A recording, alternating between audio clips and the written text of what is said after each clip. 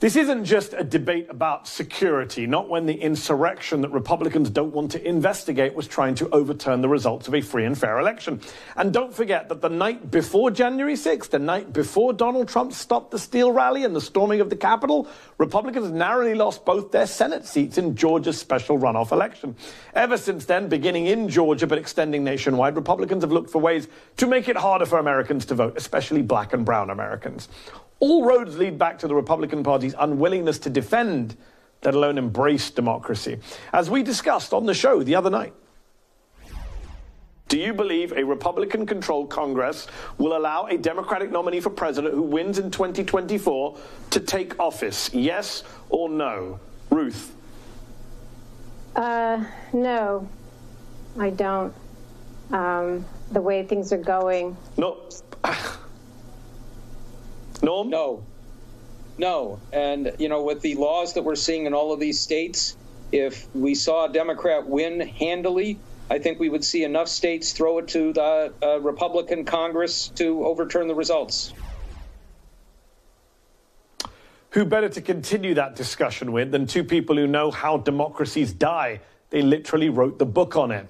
Joining me now are Steven Levitsky and Daniel Ziblatt. They are both professors of government at Harvard University and they're the co-authors of the New York Times bestseller, How Democracies Die. Thank you both for coming on the show. Uh, Steven, let me start with you. When you both published your book in 2018, did you ever imagine there could be a violent insurrection at the Capitol within three years with supporters of a defeated American president trying to violently overturn the election result and the government itself?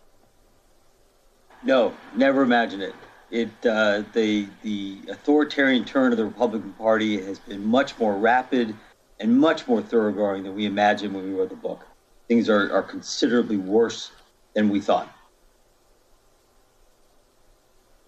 And Daniel, considerably worse, says Steven. What is the state of democracy in America right now? And I wonder what would it have looked like had Trump won a second term? Well, I think the good news is that our electoral institutions worked well enough for a Democratic majority to to uh, retake the Senate, to maintain control of the House, and to take the presidency. That's the good news. The bad news is it barely worked, uh, and we had a, a, the violence yes. on January 6th.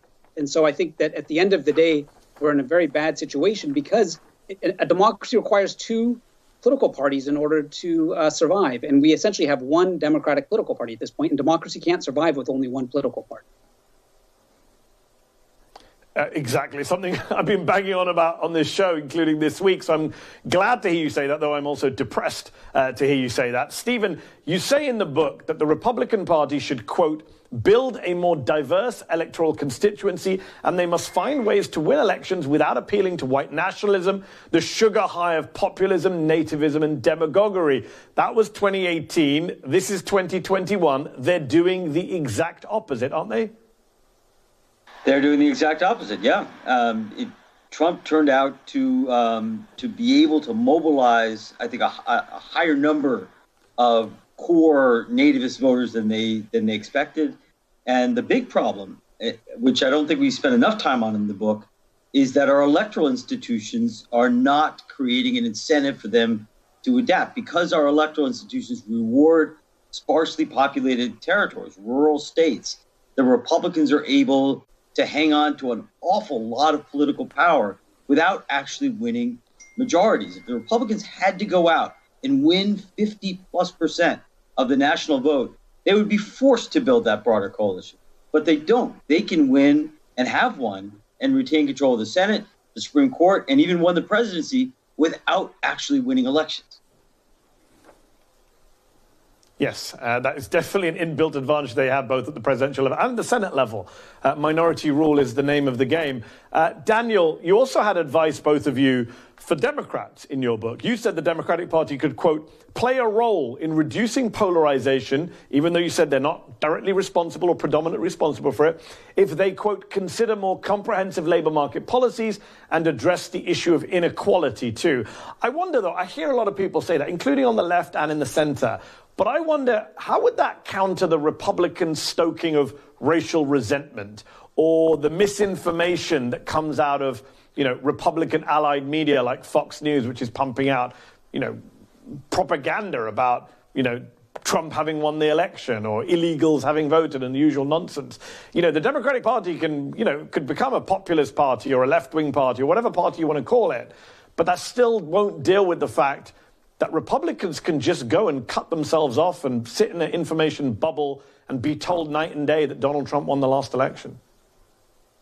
That that's right, and you know I think Democrats have to use multiple tools in the toolkit. I mean, and I think in many ways what the Biden pres- presidency is premised on the theory that by stimulating the economy, addressing COVID, making government work, that this can take out some of the anger from our politics. We'll see if that works. I mean, I, you know, I think that that is the best hope that we have at some level. That's certainly one part of the story. That's my guess is that that's not sufficient. I think, as Steve mentioned, our institutions uh, reward uh, bad behavior essentially from Republicans. They can maintain themselves in power without winning majorities. And so I think a second tool in the toolkit has to ultimately be in the long run to reform our democratic institutions. And this is part of what the Democratic agenda is currently in the Congress. And so unless we take away, unless we change the incentives facing Republicans, and these are power seeking careerists at the end of the day, uh, they're going to continue to behave the same way. So so I'm glad to hear you say we have to reform democratic institutions. You both are professors of government at Harvard. You teach this stuff to a bunch of very bright students day in, day out. Tell our viewers tonight, both of you, Daniel, you can continue, Steven, you second. What one institution, what structural fix, if you could wave a magic wand, would you make to American governance and the structure of American governance, either at federal or state level? It's all about sequencing. So I think the key thing is the filibuster. Until the filibuster itself is reformed in the Senate, everything else gets hung up. Then after that's changed, there's a whole set of other reforms that are possible. So that, that's where I would start. That's music to my ears. Steven? Uh, two changes on the electoral front, and I'm not saying these are easy. Um, one, we need to get rid of the electoral college. No, no democracy, no presidential democracy on earth uses uh, yes. an electoral college. We need to directly elect the president, and we need to change the way that we elect the Senate so that it's more proportionate to the population. Uh, and also, we need to do something that all other established democracies in the world do, which is make it easy for all of our citizens to register and vote. There's no excuse for us not to have 75, 80% turnout as opposed to 50 plus percent turnout. Get rid of the filibuster, get rid of the Electoral College. Regular viewers of this show will know I've been banging on about that for the last eight months. So you're both officially now my favorite professors from Harvard University. I wish one of you could go and talk to Kyrsten Sinema, The other of you could go and talk to Joe Manchin. Life would be better in America. We'll have to leave it there. Steven Levitsky and Daniel Ziblatt, appreciate both of you tonight. Appreciate your time. Thank you.